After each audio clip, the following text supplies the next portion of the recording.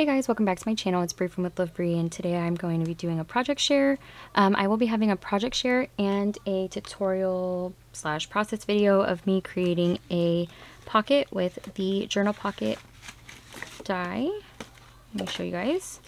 This one right here and I did do a little parasol pocket so if you guys would like to check that out I will have it linked down below.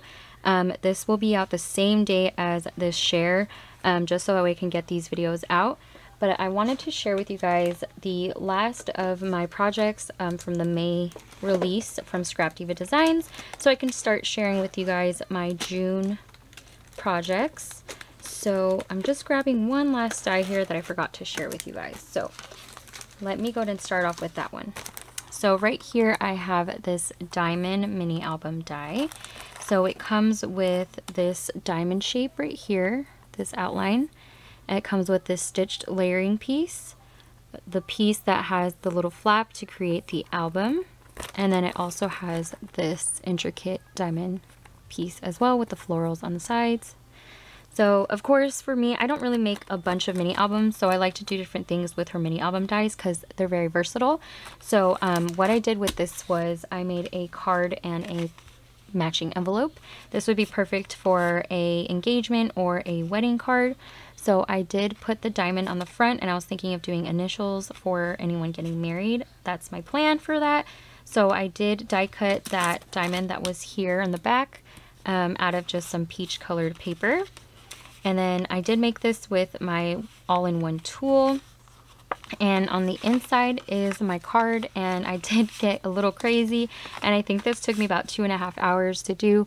But I diamond dot the whole card front and what I did was I die cut this piece right here out of vellum. So that way when I diamond dot it, it wouldn't show like the colored paper, um, you know, through any of the gaps. So right here you can see there isn't really much color showing through except for the diamond dots. And I did use mainly iridescent colored diamond dots. So you guys can see there's just that little bit of iridescence on there.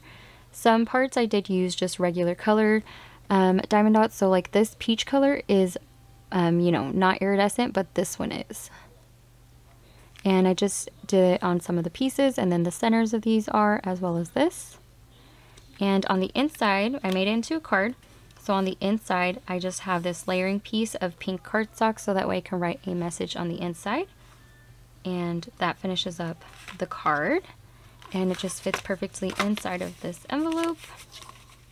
And I made it just a little bit bigger so that way, you know, it's not too snug with the diamond dots. And that's what that, um, how that turned out. And then um, I didn't do a process video on this because there is a lot already out there. And um, I wanted to get a video, but I know that I just, I wasn't going to be able to. so I'm doing a project share. So this is what it looks like, and I don't want to get my reflection all up in there, but this is the die. It is pretty large, so I did use about one eight and a half by 11, I believe, um, like a magnet. And then I did keep the rest on its original packaging, and I just stuck it on the back of the magnet. And it has a bunch of pieces. Um, this is for the handle all of these are mainly for the handle or something on the outside of the umbrella. And this right here is the main pieces, the layering pieces and the main piece to create the umbrella. This is a layering piece for the handle and this is for the pull part of the umbrella. So sorry for all that glare, but this is how mine turned out. I'm not completely finished, but I didn't use, she does have or include let me get that out the way, um, a couple of little ruffles. So right here is one of them. Um, it has this doily edge. And then there's another one. Oh, where'd it go? I hope it's behind there. I hope I didn't lose it. I don't see why I would have. I didn't use it. I'm going to have to look for it. but it has an, a heart edge. And I will, um, do have the unboxing or unpackaging of my design team package. So um, you guys probably have seen it there if you did see that video but I didn't use either one. I just actually did you or actually used pom-pom trim just to give the umbrella a little bit more texture. And I just thought it would look so cute with this salmon colored pom-pom trim. And this is what the inside looks like. I did use the Parasol collection. And the outside, I use this floral paper, and this is what the bottom looks like. I um, actually didn't use the top part that has the circles right here because this acts as like a little hanging element. But I didn't do that um, because I wanted it to hang or just sit flat. So um, I did do mine to where it is at a little angle. So that way when I want to put it on my desk or something, I can throw in pieces and it holds it.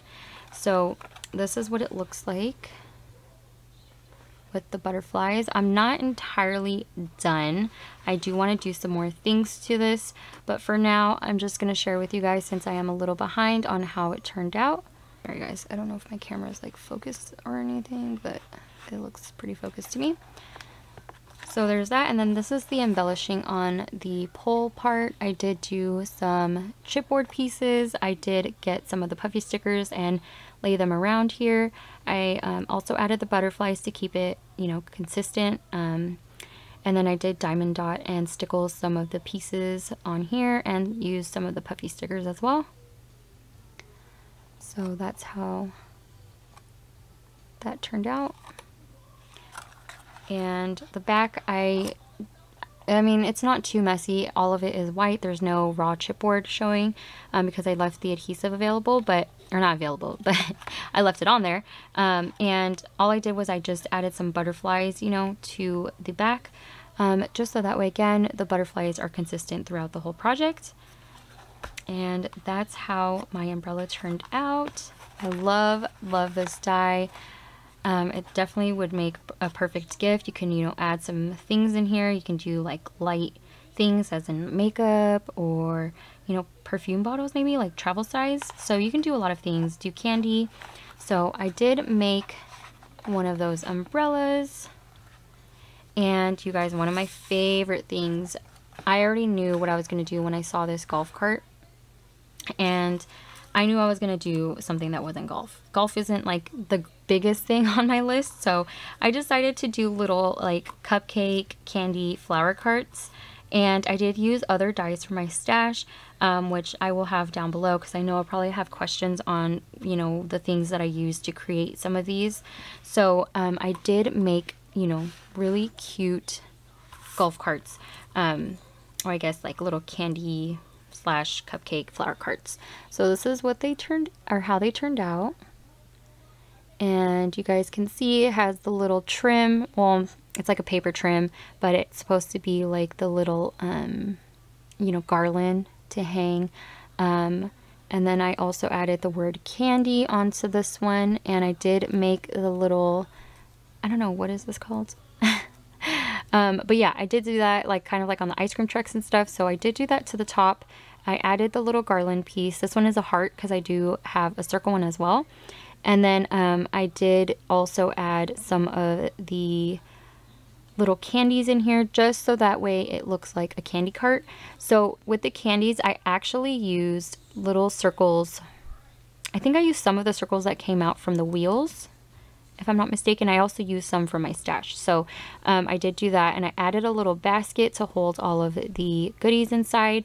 And for the little golf cart light, I did add a little flower to act as the light. And to add more stability, I did do a little shadow feature. So I die cut it out of 110 pound cardstock and I backed it up onto the pink cardstock, as you guys can see, to act like a little shadow. Um, and it just adds that extra stability to the embellishment. So that's one candy cart, and then I did two cupcake carts. So this is what the cupcake one looks like. And again, this one has the heart um, garland. I did add some glitter using some of my, let me just share with you guys. I think it's this one. Crystal clear, yeah. Spectrum Noir Sparkle Crystal Clear um, glitter ink. And I just use a paintbrush and I just brush on the edges of the hearts just to give it that like light um, effect. And then I did do the cupcakes and I did use my, um, sorry. I did use my diamond dust, which I use in almost a lot of my videos, all of my videos, um, just to give it that iced look. And then all of my carts have diamond dot wheels with the rhinestones in the middle. My rhinestones fit perfectly in there. So I thought that was really cute. And this one I did use pink in the middle. But look at how adorable they turned out. And then again, I did the flower and a wagon, or I mean a little basket for the cupcakes. And I did make little cupcakes. So this one has cupcakes. And then for this one, I did like little meringue type of treats. So that's what that looks like.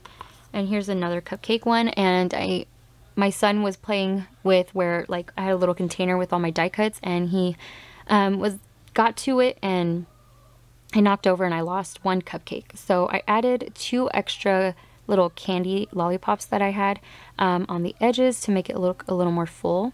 And as you guys can see here, I did have the circle garland piece here. That's actually a Christmas die. And I did cupcakes on the top of this one, which is an actual die that cuts out the word cupcake. So again, I'll have all that linked down below. Um, if I can, I will do a video on this one, but I'm just doing a share for now. And this one right here, again, I used a flower and some more diamond dots and rhinestones for that one. And this is a flower one.